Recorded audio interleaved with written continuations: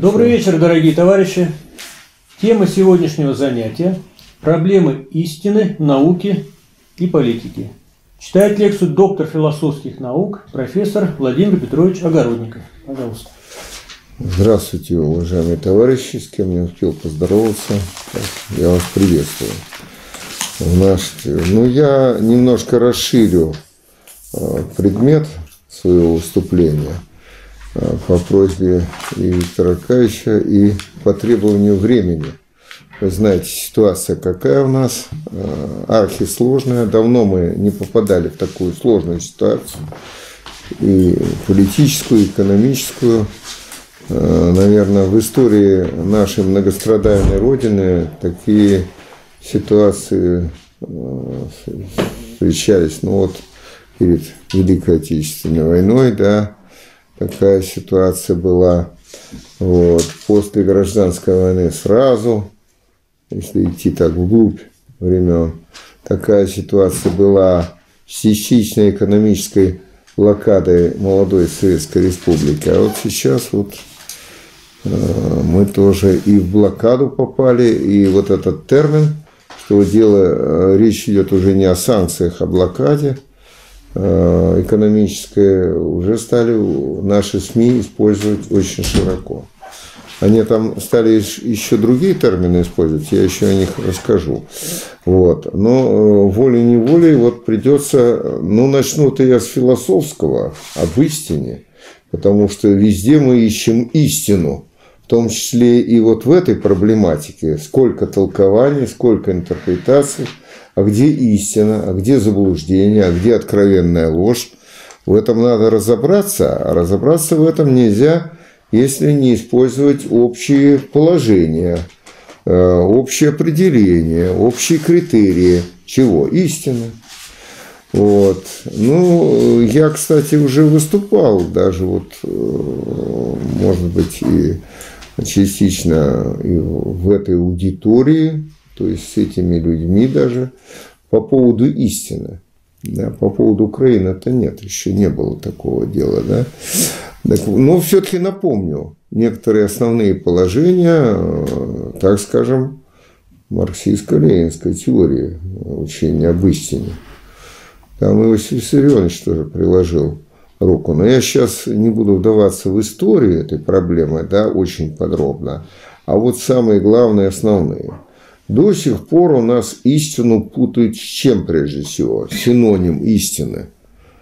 Вы, правдой, конечно, правда. К правде святой. Господа, если к правде святой мир дорогу найти не сумеет, честь безумцу, который навеет человечеству сон золотой. Это говорит э, герой великого произведения Максима Горького на дне, э, актер вот он цитирует э, стихотворение в переводе на русский язык французского э, поэта Беранже. Да. И вот, так сказать, э, кстати, я не случайно это вспомнил, потому что часто нам пытается вот какой-то миф золотой, да, повесить вместо истины, увести нас в какой этот миф, да, в какой? В религиозный, конечно, старая вещь, да, увести нас, и мы бы мы там грезили. А что, о чем? О рае, который нас ожидает и так далее, да, о том, что богатый э, э, не попадет в рай, скорее верблюд пройдет через угольное ушко и так далее, да. Вот эти все мифы, что да, вот будет хорошо, но только на том свете. А нам как хочется уже и сейчас пожить, да особенно молодым людям. Мы вот как-то уже вроде прожили, и как неплохо, я думаю, достойно. Вот. Ну так и так, вот истина и правда, как говорят в Одессе, э, две большие разницы. Да? Потому что правда имеет своим антиподом ложь, и это категории нравственные, а истина имеет своим антиподом заблуждение. И это категории, как говорят философии, гносеологические, то есть теоретико-познавательные, относятся к теории познания. Вот. Поэтому они никак вообще не корреспондируют друг с другом, не то, что не детерминируют друг друга, но вообще никак не сочетаются. И поэтому, получается, можно нагло лгать и при этом говорить истину. Это странно, да? Э, нагло лгать и при этом говорить истину. Я приводил такой пример, мне он нравится, потому что я его взял, что называется, из жизни. Вот представьте себе какой-то э, очень верующий в то, что он говорит, верующий как в истину, какой-то астролог. У нас до сих пор астрологи пробавляются на этом, да, на ниве просвещения, если можно так выразиться. Вот он попал, астролог, попал э, в среду астрономов, не любителей, а ученых. Ну, занесло его каким-то образом. Сейчас на гребне псевдодемократии могут быть такие сочетания. Да? И он, э, конечно, знает, что в этой среде утверждать, что Земля есть центр э, мироздания, и что вокруг нее обращаются все э, светила, к которым причисляются и планеты, и звезды, то есть это система Птолемея, да, древнегреческого мудреца, философа, но он уже, так сказать, попал в, но, в новую эру, да, он первый, второй век э, новой эры жил. Вот. Так вот, эта концепция до Коперника продержалась очень уверенно. Ну и, но после Коперника она, конечно, уже достаточно хорошо развенчана и практически опровергнута, а нет. Ну, многие астрологам доверяют, да, что вот как там планеты сошлись, как ваш гороскоп, вот, э, вы кто, водолей, рак. У меня на работе, вот, э, понимаете, в серьезном учреждении, в академии, да, э, одна дама, преподаватель подошла и первое, что спросила для первого знакомства, вы кто? Я говорю, я не понял, кто я. Огородников Владимир Петрович. Да нет, это я знаю. Доктор философских нет, я не то. Вы вот э, под каким созвездием-то родились? Господи, ну, я думаю, шутить она изволит. Нет, серьезно. Понимаете, люди, которые сами уже дают образование другим людям и серьезным учреждениям, они, оказывается, верят вот эти самые гороскопы. Но это вера всегда слепа, знаете. Вот. Э, как только начинается рассуждение, вера пропадает. Всякая. Э, слепая вера. Вот уверенность, она не то же самое, что вера. Ну, однако и так, значит, вот, э, конечно, такие варианты. Э, попал этот э, вот такой правоверный да, астролог в среду астрономов, ученых. И что он там будет говорить? Ну, скажем, ну, конечно, там Земля в своем обращении вокруг Солнца скажет кто-нибудь из этих астрономов, что-то они будут рассуждать. И он будет поддакивать, да, конечно, Земля в своем вращении вокруг Солнца, хотя, если он правоверный астролог, он в это не верит. Он верит в то, что Солнце обращается вокруг Земли, да? Но он будет поддакивать, потому что иначе он понимает, э, что его тут побьют. Ну, может, не побьют, но словесно-то побьют, унизят, да, высмеют, да, и прочее. И он будет поддакивать. Так вот, если он поддакивает, а если он правоверный астролог, значит, он будет лгать. Он говорит, утверждает то, во что сам не верит, как в истину. Но при этом будет говорить истину. Потому что он заблуждается. Понятно, да? Он будет говорить, что Земля обращается к Солнцу, он будет лгать, потому что он в это не верит. Он верит в обратный процесс но говорить истину. Также во многих других случаях, да, э, верующий, какой-то вот националист украинский, да, он свято верит в то, что украинская национальность выше, чем русская национальность. При этом без всяких рассуждений, да.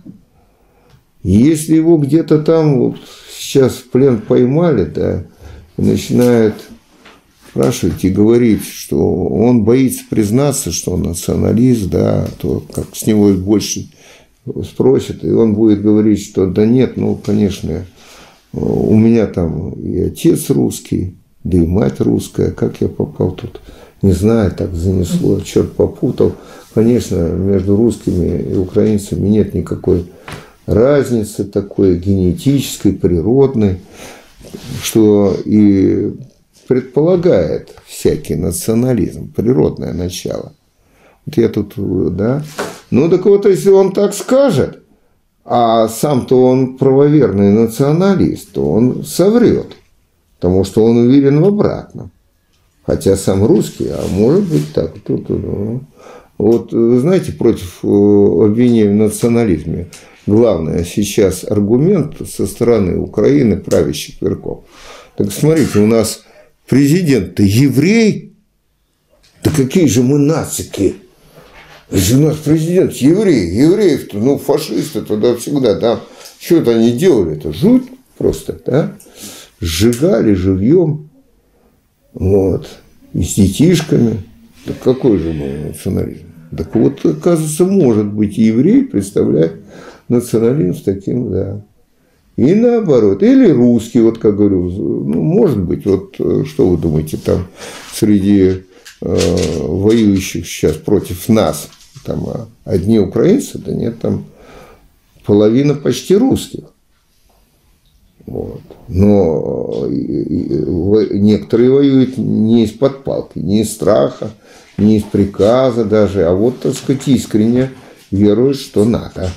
Вот, да, что Украина, Украина превыше всего. А всякие москали, там их надо давить, конечно. Потому что они нас пытаются задавить. Так что, может быть, и русский, какой угодно национальности. Главное, чтобы он верил, что вот превосходство от этой национальности над этой.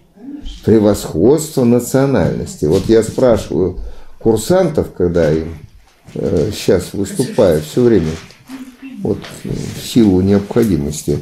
Вот в чем различие, э, вы, э, да, спрашиваю, во-первых, национализм – вот тоже проблема истины, да, национализм, а, производен от какого слова? От слова нация, от слова национальность.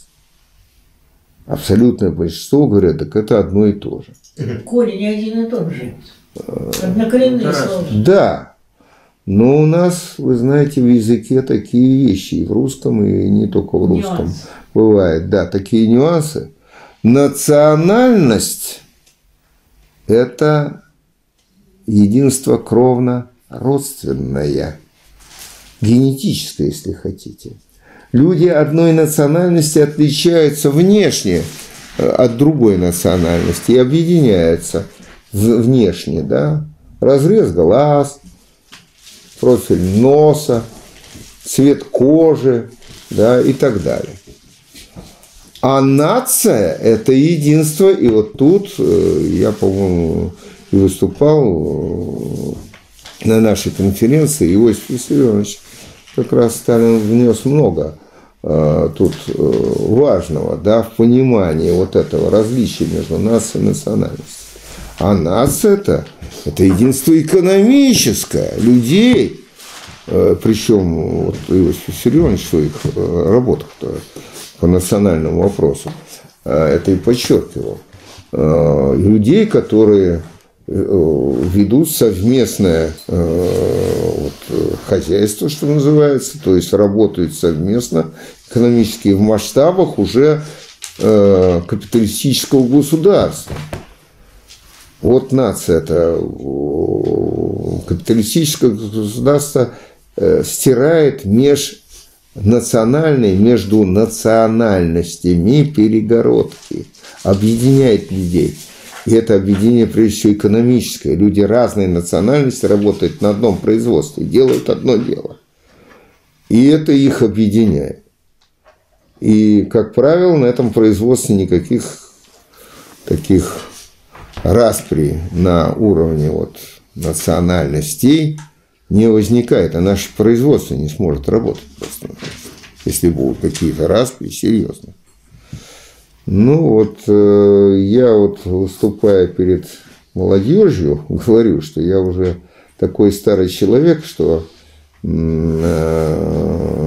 являюсь ребенком войны, и э, моя биография уже, так сказать, вот воспроизвела многие-многие моменты биографии, в моей биографии отражена, да, как в капле воды, история нашей многострадальной отчизны, да, вот, начиная вот э, с первых послевоенных лет, как мы жили, да, жили мы бедно, в коммуналках, у меня было 43 человека жильца в коммуналках, люди разной национальности. Вы думаете, были какие-то распри? Никаких распри не было. Были распри, но не на национальной почве. Знаете, что делили? Вот стол один на две семьи, вот маленький, в кухне. И вот попробуй там, а если семьи большие, а семьи-то состояли, в одной комнате жили три поколения людей. Бабушки, дедушки, повезло, выжили. А отцы матери и дети. Вот, в одной комнате жили, там, на раскладушках вот так вот спали. Я сам так спал. Вот. Но вот распри-то не было. Почему? И откуда они взялись? Да? Точно так же я служил в армии, срочную службу. Полный интернационал был. Были э, столкновения, знаете, какие? Вот это дедовщину, говорят, никто еще не отменял в армии, да? Но тем более мы служили три года в армии, четыре на флоте. Э, так вот, э, разница между салагой, первогодком, и дедом, третий год, большая получалась в возрасте, ну, в умении и так далее. Были какие-то на этой почве, ну, не то что столкновения, а вот, э, ну, какие-то насмешки, да, были какие-то шуточки, ну, вот я рассказываю. Ну, ну до преступлений не доходило ни до каких. И до драк не доходило. Вот знаете, какой-то момент был. А, я помню, пришел на кухню и э, вижу э, в наряд на кухню, заступил я. И вижу, что э, там одного моего одногодка, Салагу, дед этот, который старше по кухне, ефрейтор, заставляет продувать макароны на 150 человек. А то такой был прием. 150 человек загружать. Представляете, сколько макарон там сухих? А он говорит, а зачем? А он говорит, а ты дунь. Вот макарон дунул, а там, видишь, какая пыль летит. Так надо каждую, ты будешь так загружать, и люди будут вот эту пыль есть, надо каждую продуть. И этот салага, ну, если городской, вы же понимаете, да, он видит это, дед-то с кем дело имеет. Сельского э, парня на этом деле не поймаешь, а городского какого-то такого маленького сыночка можно. Ну, вот он видит, он, шуточки. Вот такая дедовщина но ни избиений не было. А тем более вот это столкновение на уровне там старший и младший по службе, по возрасту, но никак не по национальному. Полный интернационал никогда не было столкновений. Вот все три года службы, и дальше я еще офицером полтора года прослужил. Вот, и ничего такого не было. Хотя вот эти дедовщины усилилась, перешли к двум годам службы, усилилась дедовщина, перешли к одному году службы, вы знаете, да, вот ситуация какая. Там уже не дедовщина, когда это, два года тому назад, один парень вот из э, восточных областей да, нашей России, забыл, какой он был национальности, это восточной, он расстрелял, да, пошел в караул из автомата, расстрелял там пятерых, кажется, своих, включая офицера, да. Ну вот недавно его, по-моему, осудили только, да. Вот. А тут столкновение на какой почве было? Тут не, не, не, не дедовщина. Тут... А? Нац... Национализм. Вот уже там, вот какие-то, понимаете, национальные меньшинства. А чего это они взялись? И в армии, да не только в армии, да? А, в гражданской жизни. Откуда это все? Когда мы разбираем. Но я вот истину-то покинул, а надо вернуться к истине. Я еще не все сказал об истине. Различие между истиной и заблуждением, вот пара, да, такая, когда человек не знает, не понимает, заблуждается. Но если он лжет, это уже другая категория, да? Вот я вам объяснил это дело. Вспомнили. Но вот, а что такое истина тогда? Да, еще один момент. Ну ладно, об этом я скажу, когда вот что такое истина прежде всего. Вот тут э, древние греки нам оставили колоссальное наследство такое замечательное. И вот Платон, один из самых знаменитых, наверное, древних греков, вместе с вот эта троица Сократ, Платон, Аристотель. Ученик, учитель, да, но это если сверху вниз идти, Сократ – учитель Платона, Платон – учитель Аристотеля. Вот это, конечно, три величайшие фигуры. Так вот, Платон, он э, дал в том числе и определение истины. Первую вообще политэкономическую, можно сказать, работу написал государство, оставил нам. Вот. Э, ну вот э, по поводу истины, другой работе рассуждает. И к какому выводу приходит в диалоге с другим греком? А, так вот, тот, кто говорит о чем-либо в соответствии с тем, а, а, как эта э, вещь существует на самом деле, говорит истину. А тот, кто значит, говорит не то о вещи, не, не, не такая, как на самом-то деле, вот он заблуждается. Хорошо, это основа теории истины, современной. Но тут чего нет? А вот как отличить? Вот говорит он на самом деле, э, говорит он о том, что сейчас уже э, вот этот термин заменен термином более емким, адекватно, да? Если высказывание какое-то адекватно тому, что, о чем это высказано или о ком, то значит это, это истинное высказывание, суждение – истинным и неистинным из трех логических форм, которыми мы оперируем в своей речи, на письме и в уме прежде всего, является суждение. Не понятие, не умозаключение даже, как связь суждения, а именно суждение, где что-то утверждается или отрицается. А если ничто не утверждается и не отрицается, это не суждение. Но это я так в глубину пошел, необходимо – Э, кое-что пояснить. Значит, итак, вот э, суждение. Если э, утверждение или отрицание в каком-то суждении адекватно тому, о чем говорят, вот есть национализм на Украине или нет национализма на Украине? Я, скажем, утверждаю, есть национализм на Украине.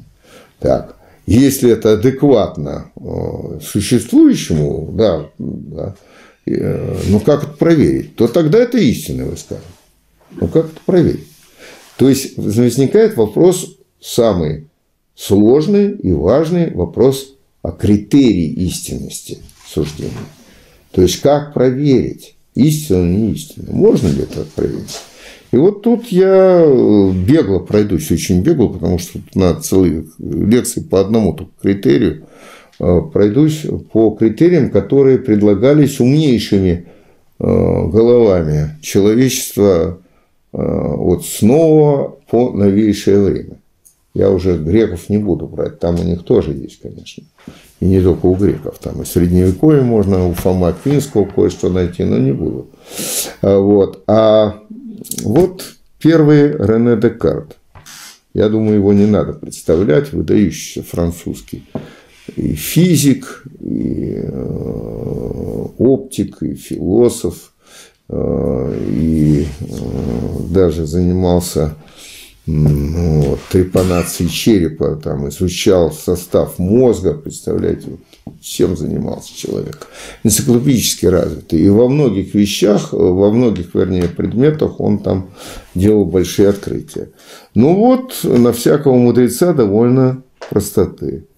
В своей работе «Рассуждение о методе» Декарт пишет, что истинно надо считать такое суждение, которое как э, совершенно ясно, как истинное, э, тем людям, которые вот читают это или слышат. Ясность и очевидность. Вот для всех ясно и очевидно. Ну, тогда истина. Вот на всякого мудреца довольно простоты. Вы понимаете, одному ясно, а другому не ясно. Я читаю лекцию в одной и той же аудитории, меня слушает 100 человек в среднем каждый раз. Ну и вот то, что я говорю, не все, конечно, но часть из того, что я говорю, скажем, поняли 5-10 человек. Остальные нет, не поняли. Надо их... Ну так что? Значит, если они не поняли, для них это совершенно не ясно, то это не истина. А для тех, кто поняли, истина. Вот из этого примера я э, Декарта критикую да, и говорю, что это субъективно идеалистический критерий истины. Субъективный, не критерий это выводится. Но почему я вообще вспомнил о Декарте? Можно это к истории отнести? Нет этот используется, вот этот ложный критерий истины, используется сегодня. Где? Да в пропаганде, во всякой СМИ. Выводят какого-нибудь артиста, и он хорошо поставленным голосом, проникновенным, да, с обертонами э, и э, с видом таким абсолютно уверенным – в том, что он говорит, да якобы, он может сыграть.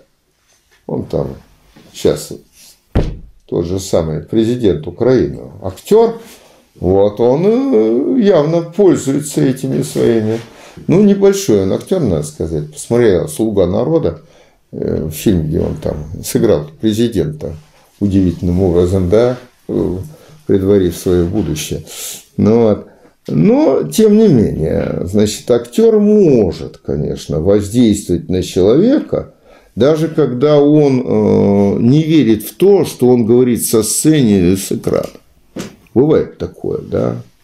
Ну, вот он не верит. Или он не сочувствует своему герою, но он должен его изобразить. Вот режиссер его так поставил. Вот он должен, он должен правдиво какого-нибудь мерзавца изобразить, да? И нам будет ясно, что это вот истинный мерзавец, да. Вот. Но мы относим это к образу, который актер изображ... Э, отображает, а не э, к самому актеру, понятное дело. Так вот, ясность и очевидность, видите, субъективный момент. И этим, конечно, пользуются все СМИ, и, конечно, это и в театральном искусстве это работает. Можно, знаете, увести людей очень далеко. Вы знаете, как вот Владимир Ильич Ульянов Ленин оценивал, да, и это раньше у нас во всех кинотеатрах, силу искусства, киноискусства, да, висела его фраза. Из всех искусств для нас важнейшим является кино. Потому что главный пропагандист, главный агитатор. Вот Чапаева посмотрели, и те, кто Чапаева посмотрели, это поколение, они потом ринулись в бой в 41-м с открытым, как говорится, забралом, да, не боясь ничего. Воспитывали таких людей, да. И нас еще воспитывали в таком духе. Мы тоже еще можем ринуться до сих пор, если надо, да. Вот. А через что? Конечно, сила искусства. А может оно, это, может эта сила там исказить истину? Может, да. И преподнести как истину заблуждение или явную ложь может растиражировать при помощи современных средств дезинформации, технических, да, а, чрезвычайно легко. И ясно и очевидно станет то, что на самом деле не является истиной. И вот уже тысячи молодых людей скачут по, по площади, кричат, кто не скачет, тот москаль, да? но это же уже было, да, великий народ, один из самых просвещенных народов Европы, немцы, которые дали миру и Баха, и Бетховена, и Шиллера, и Гёте, и Гегеля, и Маркса. Вдруг эти вот люди, потомки, да, великих, образованные люди, выходят с соловянными глазами на площади, приветствуют фюрера и кричат «Зихай!». Вот как это можно? Да можно. Вот я ребятам говорю, курсантам, вы думаете, вас так нельзя болванить? Легко. Я даже знаю как, но не буду этого делать. Да мне не дано. Легко.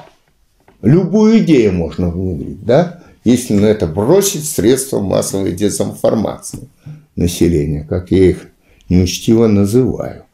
Что меня сняли 20 лет тому назад с телевидения уже. Когда я сказал, средства массовой дезинформации – это сила великая. Гораздо больше, чем простое кино, да, о котором писал сейчас. В руках находится чего? А, кого? Конечно, кто владеет, тот и властвует. Да, владеет средствами массовой информации тот и властвует, естественно. И вот тут ясность и очевидность работает. Но я задержался на этом моменте, но я кинул мостик вот к национализму. Как это можно подготовить?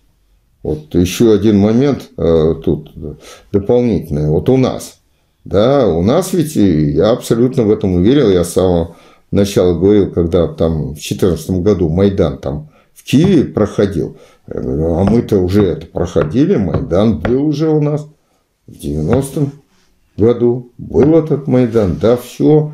И потом в 93-м расстрел Верховного Совета. Вот, пожалуйста, все то же самое. История повторяется.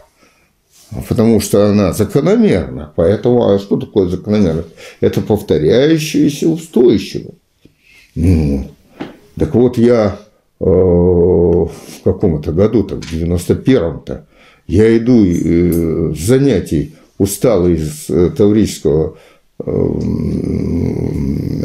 высшей партийной школы, иду по набережной, вот, прогуляться решил по Неве, хорошая погода. Иду и на Дворцовой площади, вот мимо прохожу, тысячи людей, вот так, плотно друг к другу, а я и не знал. А это было время выбора первого президента России. Вот. И я, ну, полюбопытствовал, я же обществовед, я, я не могу как мимо пройти так, а что там такое? Ну, не, не, вот, зашел. А оказывается, под конец уже зашел этого действия, там была агитка за кого? За Бориса Ельцина и всех а, кандидатов. А, вот, это весна была, 90... Я начинаю путаться, 91 -го года, поправьте меня. А? 91 91 правильно. 91 Да, 91 весна 91 -го. Вот уже так далеко, что ушло, ушло. Вот. И вы понимаете, вот там э, конец это я застал. В конце э, человек с трибуны, потом я выяснил, это мой комсомольский приятель, с которым мы в комсомоле работали, но который быстро перелицевался мгновенно. У него истина то, что приносит пользу. Да, это еще один критерий истины, прагматизма. И вот он там скандировал, и вся тол- многотысячная толпа повторяла. Он скандировал, что он «Ельцин! Ельцин!» И вот эта многотысячная толпа кричит «Ельцин!» И, кажется, Александрийский столб начинает раскачиваться в такт «Ельцин!» Я смотрю, батюшки, вот, я смотрю на моих ленинградцев – как они мгновенно оболванены. А мне слышится «Дуче! Фюрер! Зихай!» Вот оболванили. Наших ленинградцев тоже. И кого угодно можно. А этих ребят, украинцев, за 8 лет с Майдана, да чего там, они выросли на это. Другого и не было, естественно. А за счет чего это? Почему? Вообще национализм, что это закат это откуда? Вот тут я перескакиваю с критерии истины на э, вот эти истины, да, нынешние. Почему, на какой почве возник? Националистическая карта использовалась в течение столетий для того, чтобы противопоставить бедных бедным в одной стране или в разных странах да, во время войны, столкновения. Бедных направить на бедных. Да? Кем? Богатыми. Власть имущими и имущими не только власть, а владение. Да? Это принцип старый «разделяй властвуй».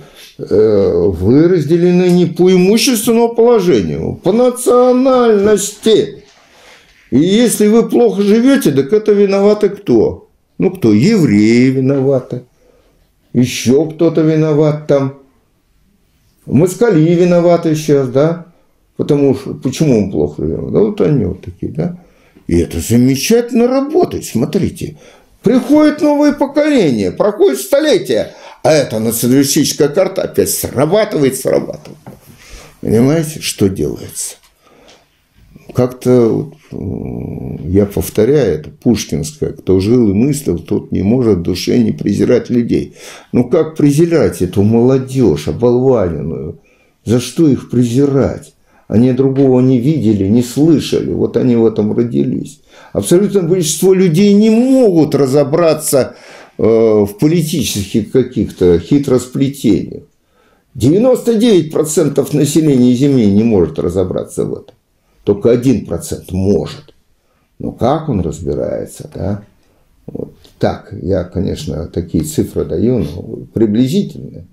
Я за свои 77 лет жизни убедился в том, что да, так вот и есть большинство. И вот тут я выхожу еще на один критерий истины, который предложен был нашим замечательным э, революционером, большевиком и замечательным ученым Александром Александровичем Богдановым Малиновским другом Владимира Ильича. Они вместе на капре играют долгое время из-за этого Богданова. Э, у нас там фотографию показывали. Горький э, э, и Ленин на капре. А с кем играет в это время? Горький стоит над ними, там фотография такая была. А с кем играет, э, не сказано, кто этот третий-то, его там не, никак не, не заштриховать. Так это Богданов. А почему о нем даже не сказано ничего? А вот почему? Богданов умница, это Ленин говорил, не я говорю, умница, замечательный, чудесный человек, вот как Ленин, он был и эмоционален тоже, так высказывал, по поводу Богданова, Малиновского. Вот. Мало того, они же были родственниками, потому что э, Надежда Константиновна Крупская приходилась двоюродной сестрой э, жене э, Богданова. Знаете, вот какие связи до родственников дошли. Но Ленин был человеком принципиальным, да, он никакие там родственные связи, даже вот э, товарищ по борьбе. Когда Богданов Малиновский в одной из своих работ выдвинул критерий истины, какой? Общезначимость.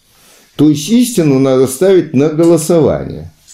В этот период борьбы в пролетарском движении это было чрезвычайно опасно. Ленин понимал и критиковал Богданова в общем абстрактном виде, что э, если большинство э, считает это суждение истинным, то это не значит, что это ист, э, истинное суждение. Да? Они заблуждаются, большинство всегда заблуждается. Но Богданов как-то вот не понимал. Он был человек очень честным, открытым, замечательным ученым. Да? Ну и вот с Лениным они разошлись на период перед 17 годом.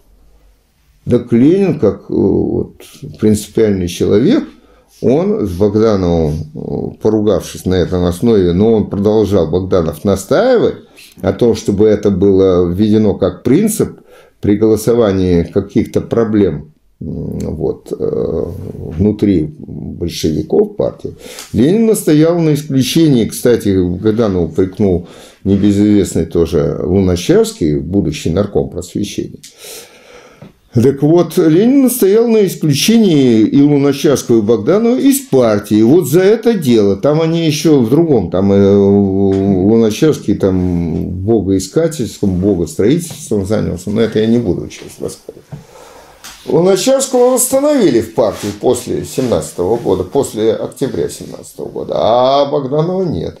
Но Ленин ему не мстил. Он был директором института, Э, где э, занимал, он таким еще э, занимался переливанием крови, ставил на себе опыты по переливанию крови и перелил себе группу другую и скончался. Вот, вы понимаете, какой директор института у нас сейчас будет на себе опыты ставить? Ну, на мышках, наверное, надо сначала попробовать. Так вот, общезначимость не есть критерий истины. Богданов заблуждался – но эти заблуждения иногда очень многого стоят, больших э, просчетов и поражений, э, в том числе и в нашей борьбе, конечно, э, с международным капитализмом. Вот. А какие еще? Ну, вот я уже упомянул, что прагматизм, да, вот что полезно, то и истина. Это ведь целое учение – прагматизм. Философское учение, э, родоначальник американский, а не э, философ Чарльз Пирс, конец 19 столетия. И вот он там, этот Чарльз Пирс, в своей работе, так, которая так называется, прагматизм, такая вот толстая штука, я ее еле одолел. Какая нудная. Ой, знаете, бывает иногда. Вот надо прочесть, а то как же будешь критиковать, не прочитал, там выхватил фразу. Это нечестно, да? Вот. И к истине далеко, э, от истины далеко. Так вот, э, Пирс там пишет, надо признать, вот выхватил я все-таки это определение, истинным такое суждение, которое продемонстрировало свою практическую полезность хотя бы для ограниченного круга лиц. Кому-то полезно, значит истина. Ну, вы понимаете, кому-то всегда что-нибудь полезно. Такая чудовищная ложь, да? А, как писал тот же Александр Сергеевич Пушкин, а, тьмы низких истин нам дороже, то есть полезнее, нас возвышающий обман. Вот и все. Используйте этот критерий истины сейчас больше, чем достаточно. И общезначимость, я не сказал, используется. Что у нас в Конституции действующей записано России э, по поводу демократичности нашего строя? Как аргументируется, что мы в демократической стране живем-то? Главное это что? В первых параграфах Конституции. Это всеобщее избирательное право и избираемость э, снизу доверху всех Э, власти, э, всех э, этих представителей власти до президента включительно. Избираем вот так вот мы демократично. Большинство проголосовало за, значит, все, наш истинный президент или за Конституцию проголосовали вот тогда, в 93 году. Вот, значит, это все замечательный, народно одобренный документ. Но те, кто голосовал за Конституцию, они ее не считали в проекте, 90%. Проголосовали, да, все голосовали. Чем мы там разбираться будем? Вот, а я голосовал против. Да, Конституции. Но когда теперь я должен, знаете, принцип демократического централизма был у нас и остается в партии коммунистической. А э, тут тоже такой принцип. Ты можешь возражать, но если принято все, обязан как гражданин. А куда мне деться? Иначе все, тюряка. Хотя там, знаете, такие противоречия внутри Конституции. Это отдельный разговор. Вот. Ну, вот э, такая общезначимость. Вот понимаете, тут э, работает критерий общезначимости. Большинство проголосовало, значит, истинная, вот э, документ истинный в каждом пункте, в каждом параграфе, в каждой главе, в каждом параграфе. Но большинство-то не разбирается. Я всегда привожу такой пример вот на лекции, когда это касается вопроса, так или иначе, обычный. Представьте себе во времена Коперника всеевропейский референдум. Кто за то, что Земля, как считает нечестивый Коперник, обращается вокруг Земли? Кто против? Коперник остается в абсолютном меньшинстве. Без всяких подтасовок, вбрасываний бюллетеней. Все честно проголосовали. И наблюдателей не надо. Все ясно. Ну так, Коперник, какой ты ученый, да? не владеешь ты истиной. Хочешь там нам мозги запудрить, да, как говорят. Все. Значит, вы понимаете, вот общезначно, ну, никак не годится. Поэтому вполне Ленин был прав по отношению к Богданову, как вот философ в данном случае. Полезность уже сказал. А, значит, дальше пошли такие субъективные, тоже, это все субъективные идеалистические, кстати, критерии-то. Да? Ну, большинство субъектов проголосовало, да, общезначимость субъективная. Неадекватность объективной реальности. А вот, вот мы проголосовали, мы, мы собрали большую часть людей, которые вот так считают. Значит, все. Значит, кто не скачет, тот москаль, ясно. А нас-то большинство. Где тут москаль? Все скачут правильно. И москаль будет скакать, испугается, ведь убьют еще. Не говоря о том, что покалечат. Вот. Так, теперь, значит, вот такие субъективные идеалистические появились уже э, в 20-30-е годы. Там позитивизм, неопозитивизм, я об этом не буду ничего говорить, но там ряд замечательных умов, прежде всего такой английский ученый, философ, математик Бертран Рассел. Вот он эту идею очень поддерживает. Какую идею? Неопозитивистскую, что истинным надо признать такое суждение, которое проверяется в чувственном опыте, в непосредственном чувственном опыте. И даже другой автор, там вот э, Витгенштейн, приводил такой пример. А, дождь идет, суждение истина, если дождь идет. Посмотрел, а, идет, ну все, истина. Ну, потом эти мудрые ребята, Бертран Рассел, он же э, создал язык математической логики, специальный искусственный язык, который потом в компьютерах стал применяться язык. Вот в начале эти искусственные языки сначала по Расселу работали наши компьютеры. Вот. Так вот, э,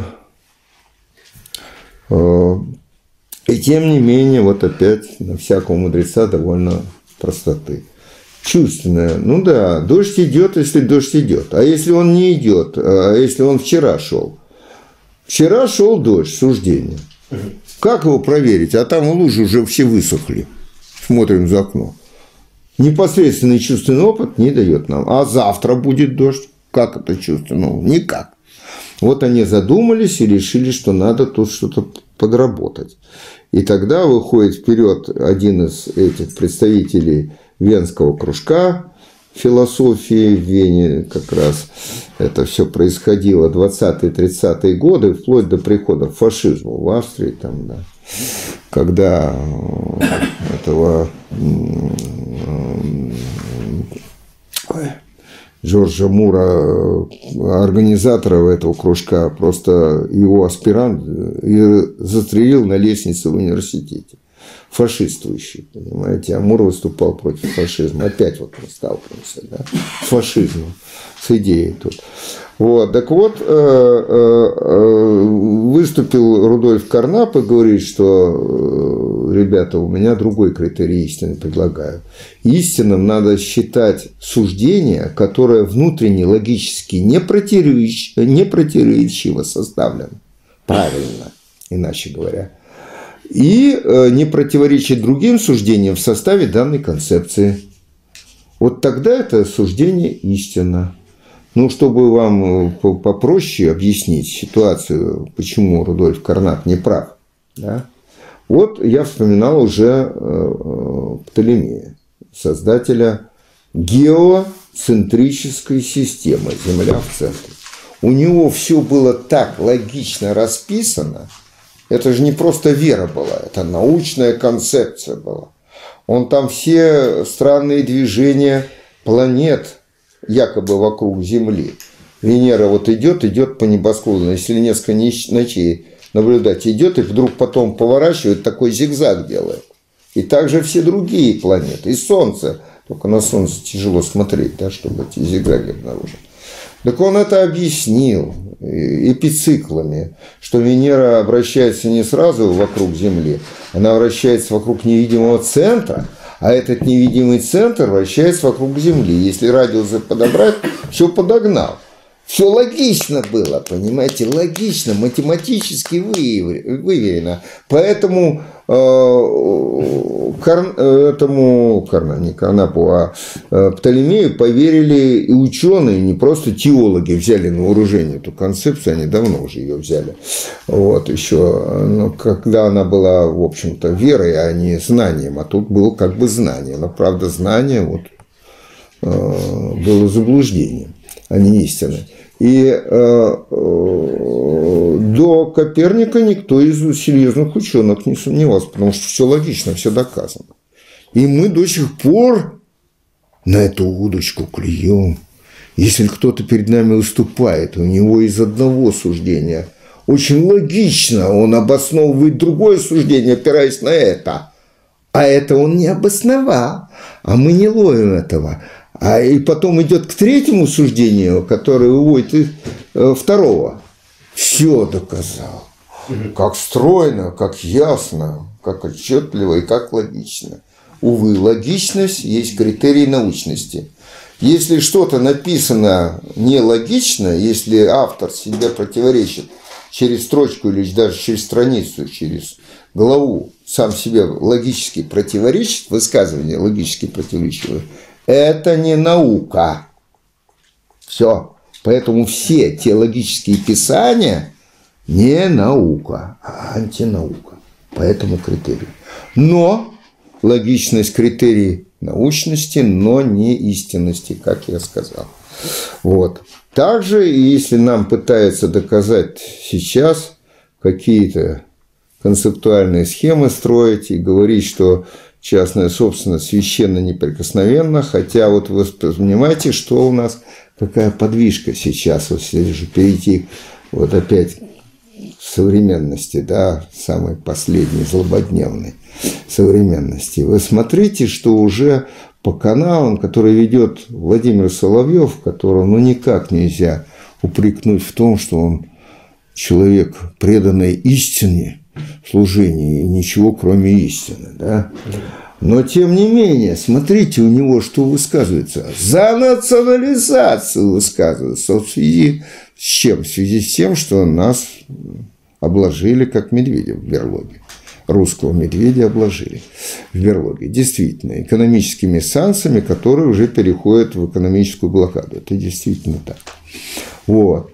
Но вот, понимаете, мы попали на что? Вот э, когда э, все началось-то, основное, с разрушения Советского Союза, великая общность, советский народ, которая не просто была фразой красивой, она существовала, это экономическая и культурная общность была, советский народ.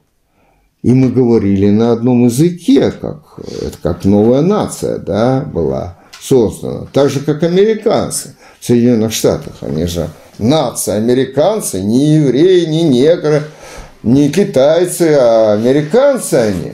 Прежде всего, вот это нация, а не национальность. И там они вроде с националистическими какими предрассудками пытались бороться, а теперь впали опять. Вот, вы знаете, полицейские неграм там ноги мыли и воду пили. До чего дошло, да? Так сказать, вот тоже. Национализм и расизм наоборот. Ну, так же, как и с другими вещами, да? С меньшинствами сексуальными там, ну, как говорится, мир сошел с ума. А был ли он в уме в этом отношении? Но я чувствую, что я так, сказать, как всегда, ну, слишком большая это Вот, ну а вот логичность, значит, не годится. А что же предлагает марксизм-то, марксистская философия в качестве критерия? Практика. Ну, практика – это не тоже не чувственная деятельность. Там. Практика. Не просто вот я перекладываю там часы с места на место. Это не практика. Практика – это организованная, целенаправленная, совместная деятельность людей, так, и она может существовать в трех формах. Первое и главное – это что? Это наше производство материальных благ. И теперь добавим и духовно практика вот этой деятельности нашей. Иначе чего я стою? 50 лет я преподаю только, да, материальные блага не создаю. Значит, я все-таки хочу примкнуть к тому, что я в общественной практике принимаю участие и что-то такое делаю. Вот. За что деньги, как говорится, получаю. Так вот, э, производственная практика. Дальше. Она может материальной и духовной быть. Да? Дальше что? А дальше практика социально-политическая. У нас необходимо, пока существует государство, эта практика, государственная форма управления необходима. Социально-политическая практика. А объектом этой практики является что? Общество. И, наконец, научно-экспериментальная практика, которая может касаться и природы, и общества эксперимента. Да, вот такие. Вот где можно познать. Но, к сожалению, вы знаете, вот практика-то вот не всегда нам дана в зрелом виде, чтобы мы сразу могли убедиться в том, что вот это, к чему нас призывают где-то там, вот это есть действительно то, к чему надо стремиться. И вот, вот эта проблема Украины жуткая.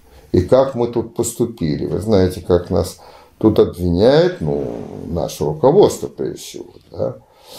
А, вот я вам скажу личное мое впечатление. Вот так, извините, конечно, хотя я не должен выступать от себя лично, это субъективизм такой какой-то получается. Но вот мое личное впечатление, вот надо было так поступить, но надо было поступить раньше.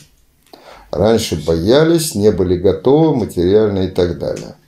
Потому что эти-то ребята там готовились с той стороны. И действительно, если бы мы не вторглись, да, они бы, конечно, начали.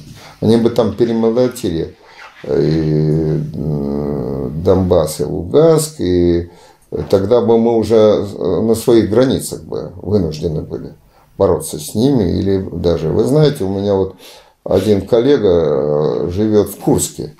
Он говорит, окрестности Курска были обстреляны Украиной. Представляете, вот. Нам что-то даже об этом не рассказывали. Но вот факт тот, что, ну, знаете, там Ростовская область, э, это рассказывали нам. То есть э, тут вариантов не было. Но как вот дошли до жизни такой? И почему мы сейчас страдаем так вот э, этого экономических санкций?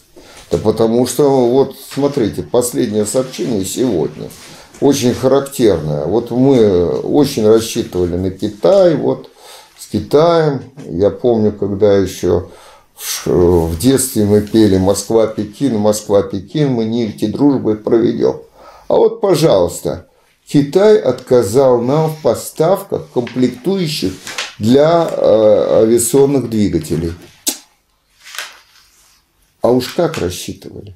И теперь мы будем просить Индию. До чего мы докатились? Индию просить. Да? Ведь у нас свой. А где у нас авиационные заводы? В Харькове были, в Харькове. А где этот Харьков? Сейчас взяли его или еще не взяли? Мне звонил 24 числа, мне звонил суперветеран, ему 103 года будет, 4 апреля. Вот, ну, еще в здравом уме. А, э, так вот, он мне говорит, Володя, что делается? Ты мне объясни старику, я ничего не понимаю. Мы, говорит, Харьков брали. Но мы освобождали Харьков от фашистов. Я говорю, сейчас от фашистов. Вот, ну, так сказать, только других. Вот. Он говорит, что такое? Ну вот мы поговорили, в общем, пришли к общему знаменателю. Конечно, вот то, что мы потеряли свою экономическую самостоятельность в 90-е годы, все было разрушено. Советский Союз был не просто вот э, разобщен, да, а все было разрушено. Производство, наука, образование, все лежало в руинах. Некоторые экономисты до сих пор говорят, и правильно, я думаю, говорят, что э, вот то, что мы понесли, какие экономические только потери, а, они приравнены к тем потерям, которые мы понесли во время Великой Отечественной войны. Понимаете? По масштабам, по глубине такому. И как нам надо подниматься с руин. Я отнюдь не путинец, но э, не путинист, или как бы лучше сказать. Но понимаете, вот все-таки почему вдруг Россия, когда лежала в руинах, там, вы знаете, Борис Ельцин там обнимался с другом Биллом, да, у нас и клялся в вещь, верности и говорил, э, Бог храни Америку там и прочее. А до этого выступал, когда был первым секретарем э, Свердловского обкома партии на съезде. Ух, какой ленинец, какой марксист, кошмар вообще. Ну, перерисовали все, конечно. Вот прагматизм. Где полезно, там и истина. Вот и мы это и будем истину глаголить. Но это же не истина, понятно это. Так вот, э, все-таки Путин, ну, я так э, знаю не только понаслышке, а связан я с этими отраслями да, промышленности, военную промышленность все-таки подняли мы. Почему мы стали неугодны? Во времена Ельцина думают, да, да, что Россия, что Россия ногу вытирает, можно, да, и они уже, мы стали фактически Э, колонии. Мы стали э, не юридически, а фактически колонией. Вот. А тут они голову начинают поднимать, они начинают восстанавливать эту свою промышленность, и прежде всего, конечно, военную, ну и надо было, конечно, военную подтягивать, конечно, надо. Но вот тут, э, опять же, у того же этого Соловьева Э, на передаче стали выскакивать не только с национализацией предложения, но говорят, что мы пока свой олигархат не разобьем, мы ничего не сделаем. Ни внутри страны, ни наружу. Понимаете? Потому что они это пятая колонна наша, да, внутри нашего государства. Ведь недаром этот Ходорковский, я люблю это цитировать даже в нескольких статьях, э, бывший глава ЮКОСа, миллиардер Ходорковский, опальный, единственный опальный у нас миллиардер, да, оказался тогда. Он писал в «Матросской тишине», что э, предприниматель должен поступать не как патриотичнее, а как выгоднее, иначе он все перестает принимать его за душу. То есть э, предать родину, пожалуйста, продать что-то за рубеж, пожалуйста. Поэтому как мы можем да, с этим олигархатом рассчитывать на подъем? наш, а сейчас-то нам экономически как подниматься? Мы опять оказались в кольце фронтов, как когда-то, да, и опять весь мир, вот как когда-то Антанта, бывшие союзники по Первой мировой войне, на нас ополчились опять, это еще в большей степени. И даже вот дошло до того, что Китай и то вот не хочет. Вот выгоду свою э, ищет, что будут и против него санкции, как бы там что не вышло, понимаете. Это, конечно, тяжелейшее положение, тяжелейшее. У нас и некоторые молодежь там, э, знаете, это вот все воспринимает. Мы воспитали вот молодежь, это же что, поколение потребителей, да, потребительское общество. Поэтому они, когда видят там вот, вот э, Э, чтобы далеко не ходить, вот мои дети, а у них там 500 тысяч подписчиков в ТикТоке на моих детей, а?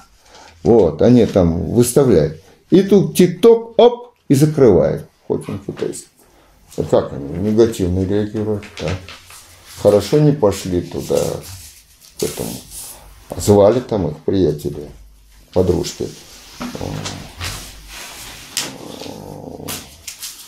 Ну не пошли, что-то у них там сработало какое-то чувство, не знаю, если не мысль.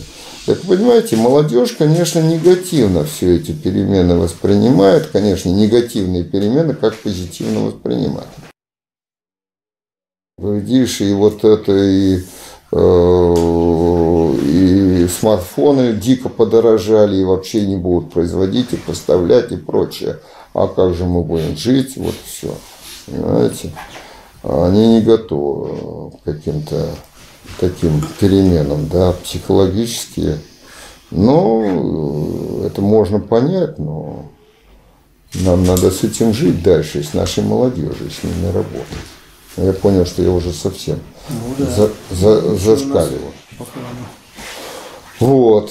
Так что, понимаете, вот э, как говорил Гамлет, со смешанными чувствами, с улыбкой в слезах по поводу вот того, что происходит. С одной стороны, да, правильно, что ударили вовремя, ну не вовремя, надо было пораньше, но говорят, что не могли, сил не было там, ждали, когда эти скопят сил.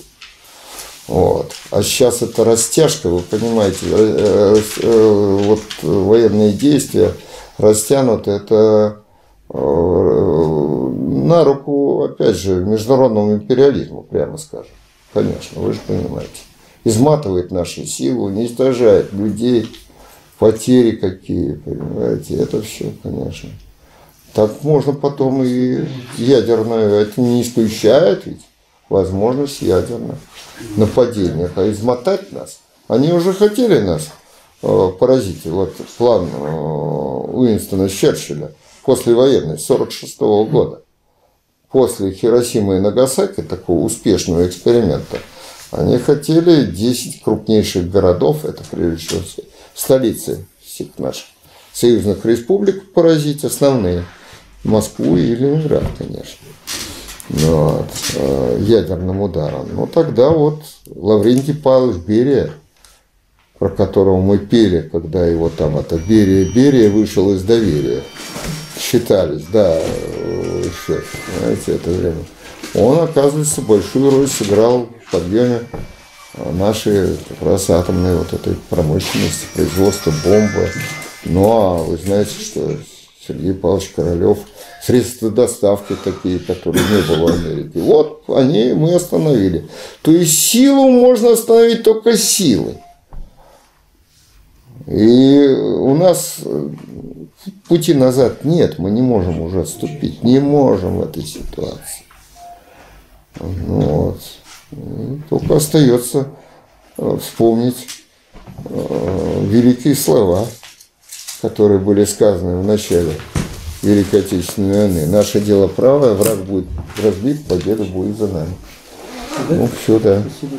Все. Виктор Аркадьевич Я думаю, что мы Владимира Петровича поблагодарим за его значит, э, содержательную лекцию. Значит, и вопросы истины, практики как критерия, правды как понятия классового, да, вообще-то, оно всегда находится поле нашего внимания как такой, знаешь, оперативный, оперативный инструмент, который мы всегда значит, э, оперировать. Но обратить внимание я хотел на один, так сказать, вот э, наиболее животрепещущий момент, которого касался Владимир Петрович, да, конечно, обращаясь к примерам, чего там на Украине происходит, как до этой жизни дошли, в чем Путин прав, и является ли его правильная позиция в каких-то отдельных вопросах, да, значит, э, оправданием всей предыдущей политики, позиции и прочее, прочее. Это точно так же, как вот он говорил, что из одного логического посыла делают, так сказать, следующие выводы, и при этом очень легко одурачить, так сказать, и людей, и, себя, если не очень, значит, э, крепкие мозги и не придерживаешься, значит, ну, научной точки зрения. С этой вот э,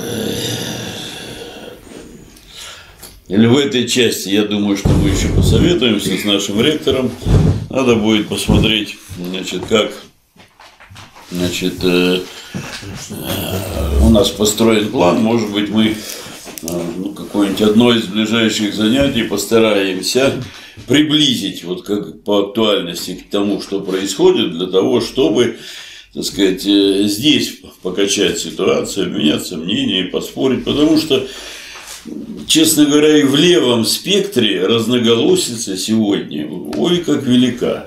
И если посмотреть интернет, там, значит, начиная от тех, которые Чунбана оба ваших дома, значит, это империалистическая война со всех сторон, и заканчивая тем, что реально, так сказать, надо добавить, добить, надавить, раздавить и так далее.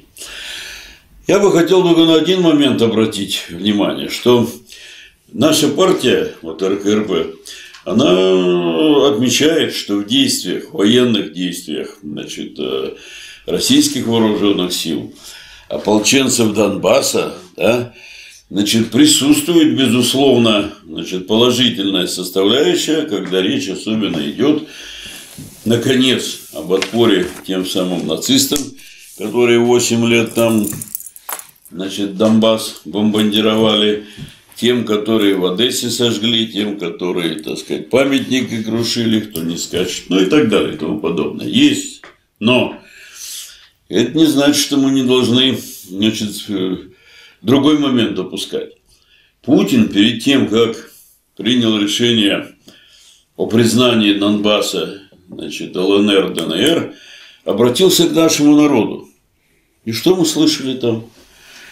Оказывается, это большевики и дедушка Ленин виноваты, видите ли, в том, что вот так устроили Советский Союз, зыбкую конструкцию, и которые косвенно и сегодня виноваты, что мы наблюдаем на Украине. Да? Ничего себе заход сделал. Вот это гораздо большая ложь, чем там все, что из этого проистекает. Потому что если совсем коротко, то войны на земли Советского Союза принес капитализм, контрреволюции, которые свершились.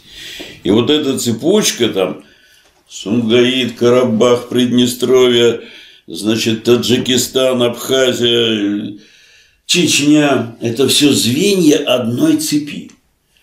И когда Владимир Владимирович даже с обиды какой-то в голосе недоумевает, что Оказывается, он у Путина просился в НАТО там, да?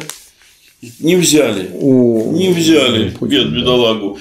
И он делает вывод, что оказывается им в этом самом в империалистическом центре и в НАТО Россия ни в каком виде не нужна, так сказать. Им нужна только вот территория, ресурсы и прочее, прочее. Додумался. Да. Если бы читал Владимира Ильича, который еще в 916 году написал значит, «Империализм как высшая стадия», где все это дело объяснил, что конкуренция не потому, что там негодяй, а бизнес, как на прибыль, добыча, нажива и сильные конкуренты никому никогда ничего там не нужны в этом деле. Они, видите ли, уткнулись в это дело сейчас – это вот, ну, как бы сказать, заход, что ли, в тему. Отсюда можно цепочки пропроводить там и следующие и так далее. Только я не буду останавливаться. Это, наверное, специально мы все-таки это дело покачаем. Но вывод один. В Советском Союзе этого не было и не могло быть. И вывод из этого, что только возвращение на путь социализма, только значит, по пути интернационализма и братства трудящихся на классовой основе можно выйти из этой ситуации. Не только для Украины, Донбасса, России, для всего мира. Вот, вот, это, вот это, так сказать, если мы к марксизму относимся как к науке, то это истина. Спасибо. Все, спасибо. Товарищ Чижевский. Вот истина или заблуждение? Считаю, что вы заблуждаетесь по следующему вопросу. Считая, что Ельцин и россияне Экран, съездили... пожалуйста. что Ельцин и россияне с Ельцином нанесли больший ущерб, чем Путин и россияне с Путиным.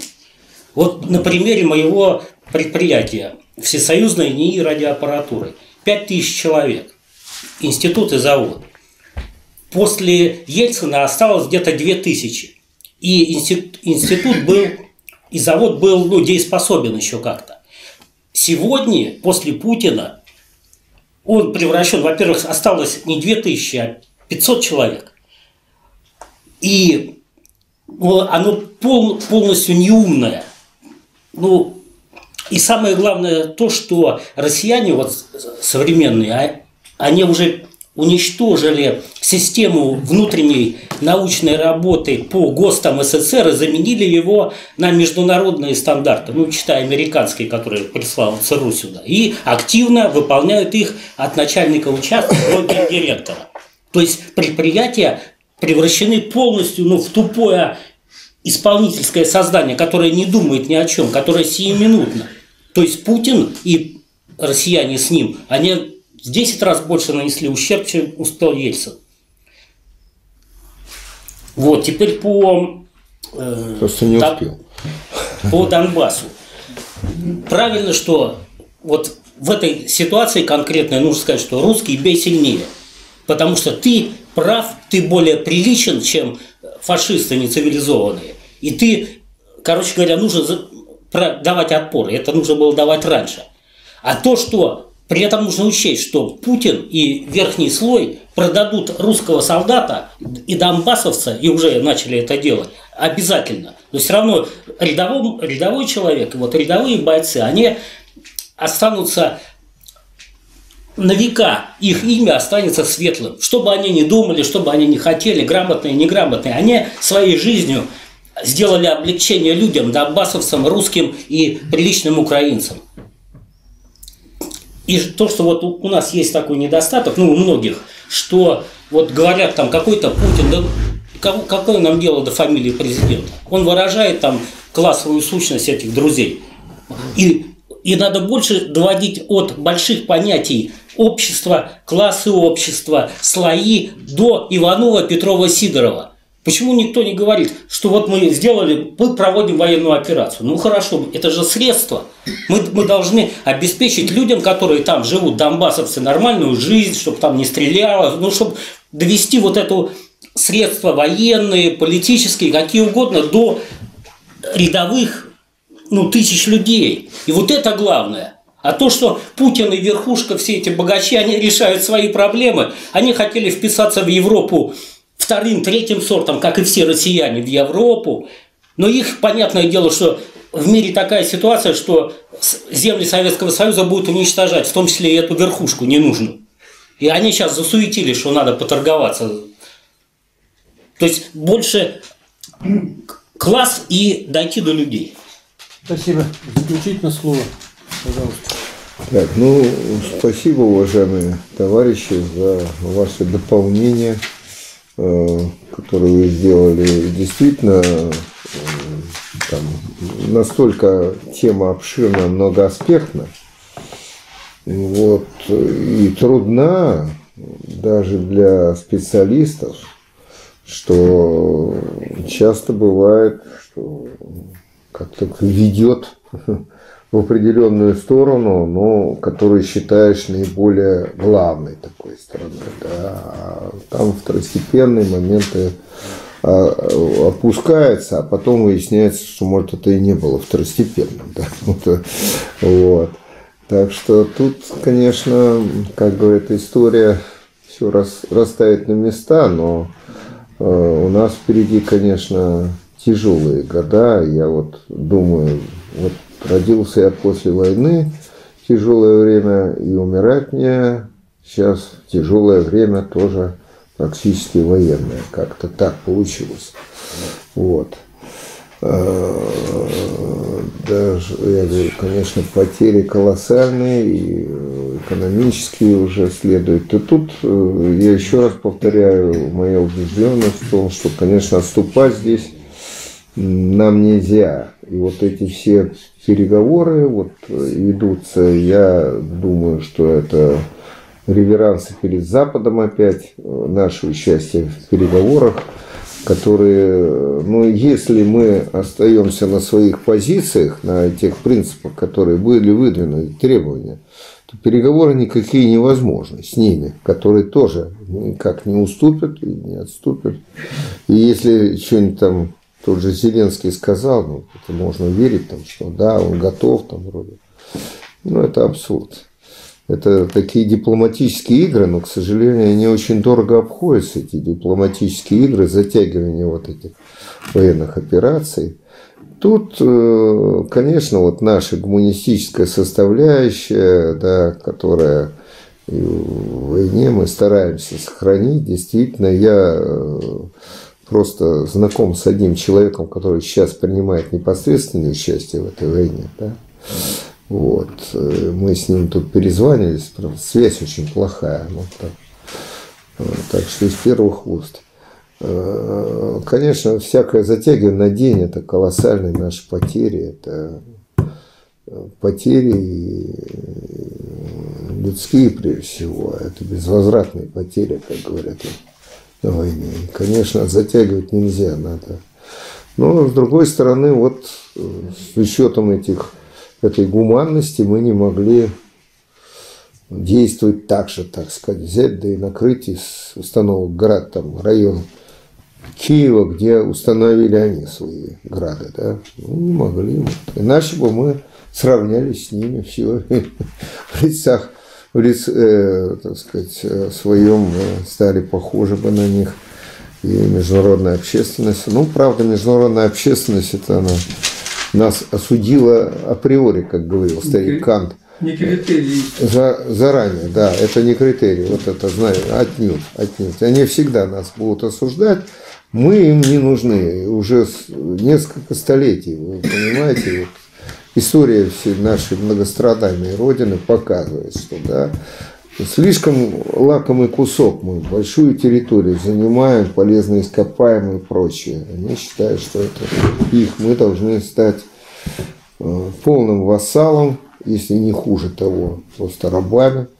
Вот. Но нам отступать действительно некуда. Мы должны тут стоять за свое. Истина.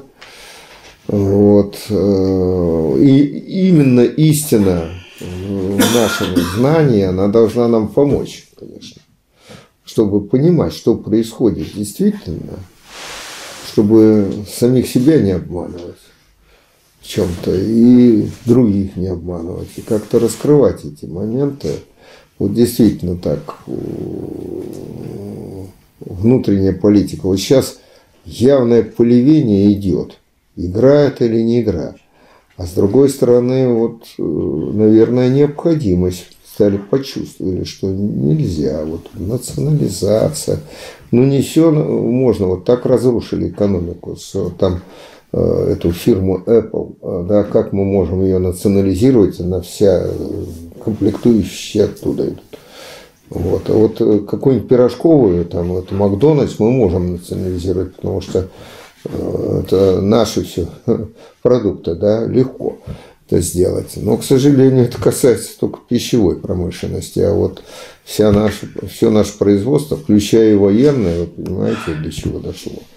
И, конечно, вот тут надо э, поставить точки над «и», э, и в таких вопросах, как это мы могли фонд национального благосостояния держать в американских банках. Вот, понимаете, что это такое? Это измена Родине вообще, если говорить, это называть вещи. Это измена Родине прямая. Вы знаете, что часть этих средств уже арестована Соединенными Штатами. Вот. Ну и что? Это же наши деньги. Вот. Это, конечно. Тут нужно разобраться с войной, разобраться и внутри, конечно. Это необходимо сделать. То есть это следующий шаг да, после этого, совершенно необходимый. Но нам эти э, ребята, вот, они, конечно, и сейчас мешают. Ну ладно, ну это вот, видите, разговор такой очень трудный, долгий, многоаспектный. Я вам скажу сразу, что я вообще-то э, по своей вот такой узкой профессиональной направленности я специалист по философским проблемам естествознания, конкретно э, генетика популяции и квантовая механика материала. Понимаете? Ну вот э, я защитил докторскую 35 лет тому назад уже. Представляете? И э, эти 35 лет я политизировался очень. Поэтому я выступаю перед вами не по философским проблемам квантовой механики, кого они будут сейчас волновать, да? Вот эти проблемы. Вот. А вот и в статьях своих я перешел, конечно, на эти, потому что, ну, как гражданин просто, как действительный патриот, вот где тут грань между патриотизмом и доведенным до крайности патриотизмом национализмом, да? Вот как-то, вот видите, тут тоже проблема философская, да, можно сказать. Так что приходится и в этом разбираться, но разбираюсь на ходу, что называется. Тут я как узкий специалист, я никаким политологом не являюсь, да. Хотя у меня и учебник по политологии издан, но все равно это учебник, учебное пособие, это же не научный труд. Вот. Так что, может быть, я тут э, ошибаюсь во многих вещах. Вот, поправили меня немножко. Спасибо. Ну и на этом я... Ну и вам тогда спасибо. Да. Угу. Ну, мы должны вот тут э, вырабатывать свои. А, реплика маленькое и объявление. Вот когда мы выступаем, то кое-кто в адрес, так сказать, докладчика смотрел, что он недостаточно, так сказать, проникнут классовой ненавистью к империализму. Поэтому я, как знающий его, хочу всем да, сказать, кто-то не знает, что в отличие от всех нас, наверное, Владимир Петрович исполнял значит, воинский долг интернационалиста во Вьетнаме еще в 1968 году. Нет. В 68-м я уже демобилизован был, в 65 году. Я к тому, что не просто там кому-то что-то советовал, а непосредственно участвовал в, С американцами тогда в составе расчетов зенитных комплексов, так сказать, и довольно успешно. Поэтому, Спасибо, Владимир да. Так, у нас по плану. Шнур. Аккуратно. Я вижу уже. Следующая лекция у нас получается 17 марта. Тема «Особенности организации профсоюза в морской отрасли». Идет занятие председатель Межрегионального профсоюза работников МУТа, морской профсоюз, Курнаков Юрий Викторович.